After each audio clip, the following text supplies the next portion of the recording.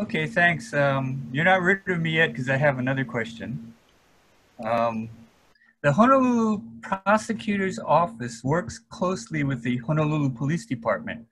What measures should the prosecutor put in place to ensure that HPD will not exert too much influence over the prosecution of crimes committed by police officers? And this goes first to Steve.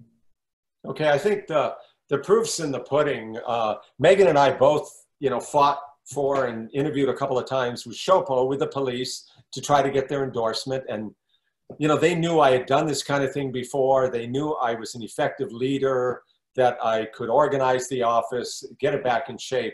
But at the same time, they knew as the United States Attorney, we had prosecuted police officers for civil rights violations, for corruption. I had actually done that.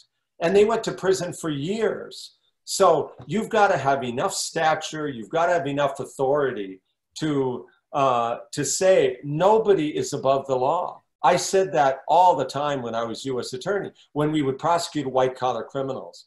You know, when we prosecuted all these political folks, you know, whether it was Gary Rodrigues, whether it was uh, Mirikitani, whether, whether it was Danny Quijano, you know, they were powerful, entrenched people. So what? They were the people we heard criminal stuff about and so we prosecuted them. So the police know they're going to get a tough prosecute with me. They're not going to get cut any slack.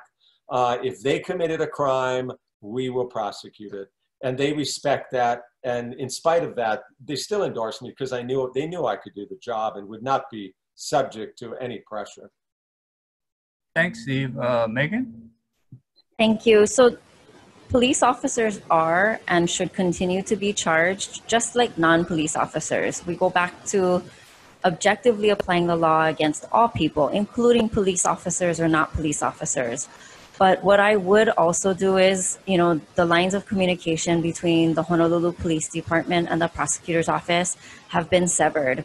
The current administration was not working well with the Honolulu Police Department, and in fact, Susan Ballard issued an internal memo prohibiting Keith Kaneshiro from attending any of the, the crime scenes, which he shouldn't have been there to begin with, quite frankly. But they need to train the police officers. People don't really understand that police officers are not lawyers, they're not trained in the law.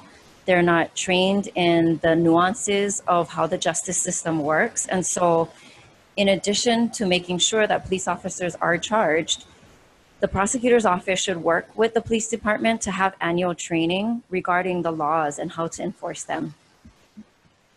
Thanks, Megan. Uh, Steve, anything to add? Yeah, well, Susan Ballard went beyond that. She refused to have Keith come to meetings that would talk about intelligence and, uh, you know, secret matters because she didn't trust him.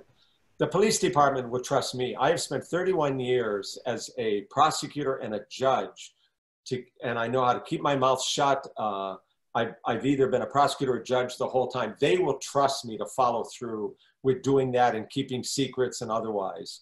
Uh, and training shouldn't just be an annual affair, although I have gone for the last 20 years to the police academy to train the officers in being upright, in doing the right thing. When I was head of the district and family court division at the prosecutors, we trained every class at the recruit class to be ethical, to be honest witnesses. We had them in district court and we cross examined them and talk about the importance of being honest. Joint training between the prosecutors and the police uh, is a key part to it because we ask the police to do a lot of difficult things. Any police officer who shows up at a domestic violence scene essentially is being asked to be a detective, gather evidence, you know, do that kind of stuff. They don't get trained in, in in how to be a detective. That's later on. We've got to train them to be detectives from day one at scenes like that. Thank Thanks, you. Steve. Um, Megan, any final word? I will note that Keith Kaneshiro and Katherine Kealoha are an aberration to our system. They are not the norm. I believe, and I think Steve would admit, that anybody that's the next prosecutor will be able to work well with the Honolulu Police Department. Keith Kaneshiro's federal investigation really put a damper on the prosecutor's office and, of course, um, gave Susan Ballard pause to allow him into the meetings and to come to the crime scene. But I, I don't see neither Steve nor myself in that position.